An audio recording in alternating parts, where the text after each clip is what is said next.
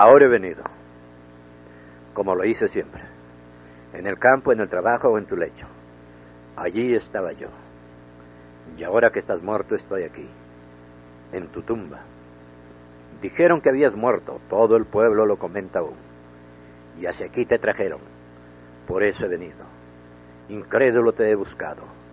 Abrí tu dormitorio. Nada. Tal vez en la sala. Nada. En la chacra. Nada. En la cantina. No estás. En tu trabajo. Nada. En tu sillón hay otro. Seguramente estás aquí. Muerto. Sí. Saben los demás.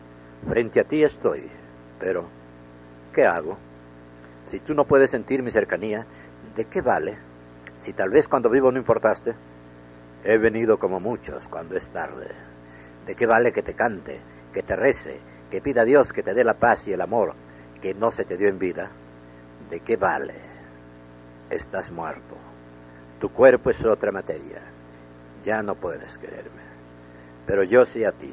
Aquí, en el Camposanto, en la casa y donde quiera que esté.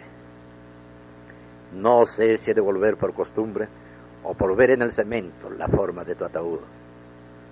Pero sí sé que mi plegaria, mi remordimiento y mi lloriqueo son polvo que en el desierto se lleva el viento y se confunde con la ardiente arena.